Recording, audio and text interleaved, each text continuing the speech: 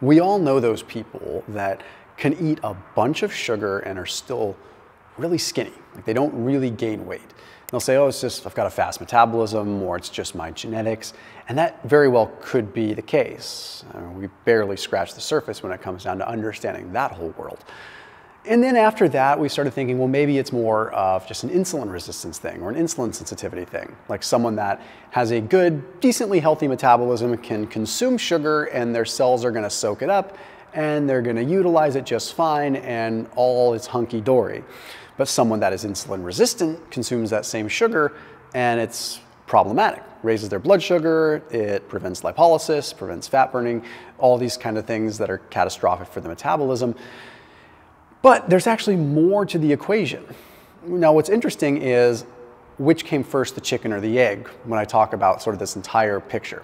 Because there is some evidence that healthy people that are good, healthy weight can consume sugar and it might actually help them get skinnier, might help them lose weight. And it has to do with particular proteins that are created in the body or secreted in the body when this is consumed. It's called FGF21.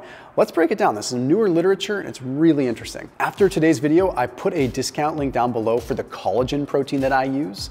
Now, if you know me, you know I'm, I'm, pretty pure and simple with what I like to use. And the reason I like Bubs is there's nothing weird in it. It's just straight collagen protein, just straight hydrolyzed collagen that absorbs even in cool water. So you can mix it in cold water, it dissolves right away. It's super awesome.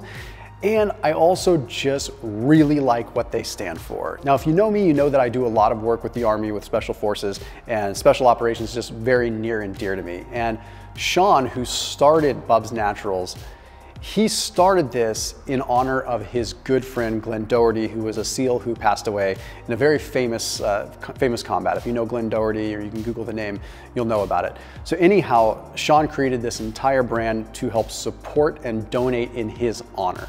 So 10% of all the proceeds that come from any purchase of the collagen go to charity in the name of Glenn Doherty, which is just awesome. So if you're a military person and you support that, it's just a good brand to support. Not to mention, it's just about the highest quality collagen protein that I've found out there. So that link down below gets you a special discount and helps support a good cause and supports this channel. So there was a study published in the journal Obesity. This was interesting because they gave humans sugar, like sucrose, and they measured what is called FGF21 at 15 minutes, 30 minutes, and 120 minutes. Just to give some background, FGF21 is a protein that is known as a metabolic regulator. So a lot of the research right now is trying to understand what exactly FGF21 does because it seems to increase metabolic rate. It seems to increase what is called brown fat, which is fat that dissipates calories as heat, makes you burn more heat, which is good for fat loss. It also seems to just increase energy expenditure. It also seems to improve insulin. It improves glucose. So we're trying to understand all of the things with this. And there's a couple things in the world that we can consume that increase FGF21, but sucrose, sugar, is one of them. What was interesting in this particular study, they found that after consuming sucrose, there was an acute spike in FGF21. It was pretty noticeable. And along with that came a decreased blood flow to the striatum, so a portion of the brain that would sort of regulate appetite. What was interesting is that this did not occur in people that were overweight. It only occurred in people that were normal, healthy weight with a normal functioning metabolism. Weight seemed to dictate what sugar did in the body. Now, why this is so interesting is because when we're looking at how this affects the brain, if a healthy person consumes sugar, it essentially decreases blood flow to a region of the brain that tells them to basically not want to eat as much sugar. They have a healthy negative feedback response where they get the sugar and their body tells them to stop. Overweight people did not have that. So they're not getting the metabolic benefit and they're not getting the portion that says stop. So what happens? Overweight people eat sugar and they just keep going. Skinny people can eat sugar and their body will sort of self-regulate, at least based on this FGF21 piece. It was also noted that in this study that FGF21 was associated with, positively associated with BMI. So Basically, the more acute response FGF21 and the bigger it would spike when someone would have it, they were generally also lower BMI people.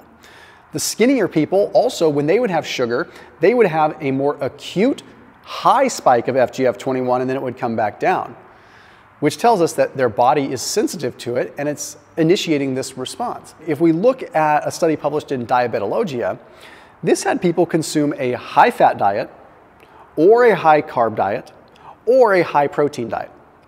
This particular study was looking at insulin resistant people. In this case, the high carb diet actually did not lose the weight.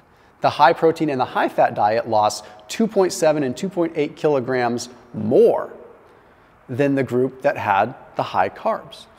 What is this telling us? I'm putting all these pieces together. Well, in this diabetologia study, the metabolic state makes the poison. If someone is insulin resistant and they were to say, I'm going to go on a very high sucrose diet to try to stimulate FGF21 and lose weight because it's going to increase my resting metabolic rate, it's going to potentially backfire and have all these contraindications and issues that occur later on.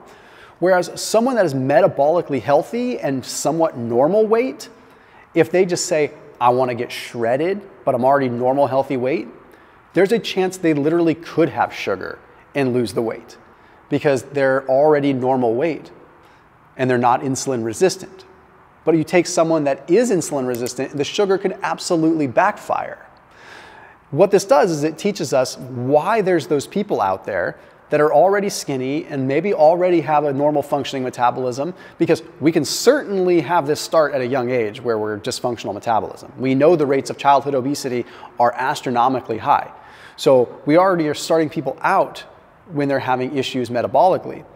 And then you feed sugar foods and all this, it just creates a recipe for disaster. But then you've got these other people that, whether it's genetic or epigenetic or lifestyle or whatever, that are skinny and they can just consume sugar my point in saying all of this is that if you are a healthy person and you are someone that is active and you are someone that is normal weight, normal BMI, you probably can occasionally have a bolus of sugar and it could help you lose weight. It sounds so mind boggling and it sounds completely, completely just backwards from what I would talk about for the last like seven, eight years.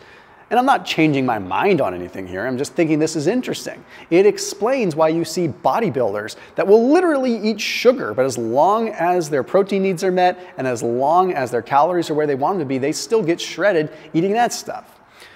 But it doesn't mean that everybody can do it. What I would suggest that you do as a practical takeaway is go and get a fasting insulin test. Also, check your HbA1c. I want to see where your glucose levels are at over the last couple of months, but also want to see where your fasting insulin is. Because if you're insulin resistant, your fasting insulin is probably going to be pretty high, and you might not be someone that can tolerate sugar. Whereas someone that has a low insulin in the twos or something like that, in that fasting insulin level, you could probably be someone that occasionally could have 50, 60 grams of sugar and actually get a benefit from it, as crazy and unbelievable as this sounds. But at the end of the day, hopefully it just helps explain why those horrible, wretched people that can just consume pixie sticks all day still lose weight. Why I look at something that tastes good and I gain weight. Anyhow, I'll see you tomorrow.